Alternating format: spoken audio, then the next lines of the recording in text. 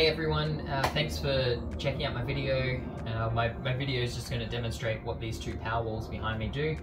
Um, we are based here in Brisbane. We have over 32 solar panels on the roof.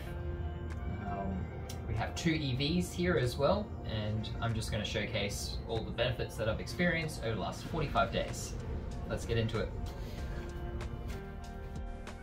Here we are in the garage. So this is one of the main benefits of having a Powerwall is if you are out at work during the day and you have a solar system and it's already currently feeding back into the grid and you're getting a credit, you know, two dollars, maybe you're getting a dollar. Um, if you have Powerwalls at home, whatever your system generates during the day, that's going to get stored in energy to use later at night.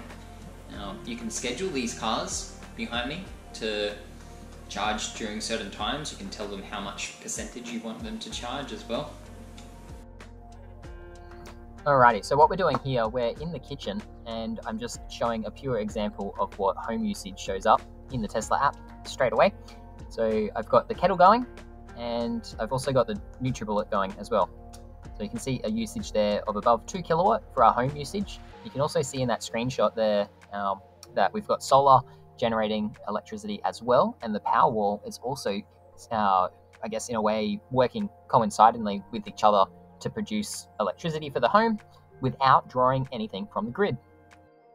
All right, this one's a pretty good one. Um, so Powerwall got installed on the 16th and started um, benefiting us on the 17th of April.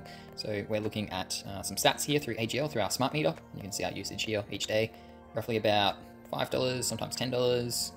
Going through here. So 16th is when we got installed, 17th is when Powerwall went active. Um, see there. We, we really see benefits here once the Powerwalls was charged and we're able to do a lot more self-consumption.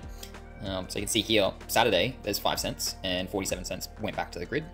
22 cents for Sunday, $3.29 for Monday. I think it was a bit cloudy, that's why it was going on, but you can see here, you know, it's gone significantly less usage. And this is May. Looking a lot better now. So I was able to reduce usage significantly. Um, you can just see there. Some days there's no solar that goes back to the grid, and some days there's hardly anything that comes from the grid. I hope this gives you a pretty good insight of what's going on here.